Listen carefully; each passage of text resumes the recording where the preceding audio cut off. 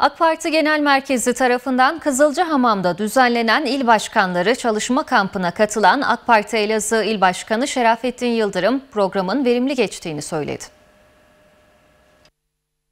AK Parti Elazığ İl Başkanı Şerafettin Yıldırım, AK Parti Genel Merkezi tarafından Kızılcahamam'da düzenlenen ve 3 gün süren il başkanları çalışma kampına katıldı. Başkan Yıldırım, il başkanları çalışma kampının verimli ve dolu dolu geçtiğini belirterek kampta yerel seçimlerle ilgili önemli konuların istişare edildiğini vurguladı. Başkan Yıldırım, Kızılcahamam kampı ile ilgili açıklamasında şu ifadelere yer verdi. Milletvekili genel seçimlerinin ardından gerçekleştirdiğimiz 4. olağanüstü büyük kongre sonrası 31 Mart 2024'te yapılacak yerel seçim çalışmalarına yoğunlaştık. Bu kapsamda genel merkezimiz tarafından il ve ilçe başkanlarımızın katılımıyla Kızılcahamam'da bir çalışma kampı düzenlendi. Dolu dolu geçen kamp sürecinde çalıştaylarımız, bölge bazlı toplantılarımız ve genel başkan yardımcılarımızın sunumları eşliğinde geleceğe yönelik genel ve yerel çalışmalarımızı değerlendirdik. İnşallah oradan aldığımız bilgiler doğrultusunda yerel seçimlerle ilgili bizler de Elazığ'ımızda gerekli çalışmaları yapacağız yapacağız ve 31 Mart'ta tüm seçim bölgelerinde zafer elde edeceğiz. Ben bu duygularla kampımızın ilimize ve ülkemize hayırlar getirmesini diliyorum ifadelerini kullandı.